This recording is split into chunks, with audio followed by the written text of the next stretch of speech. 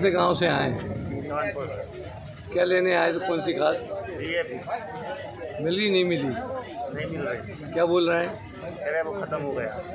तो कौन सी दे रहे हैं उसके वजह एम पी वाला दे रहे हैं अब जे अब नहीं देगा कौन सा आएगा? बीस आएगा और सोलह आएगा कौन सा चौदह सौ पिछहत्तर। कौन से गाँव से आए हैं?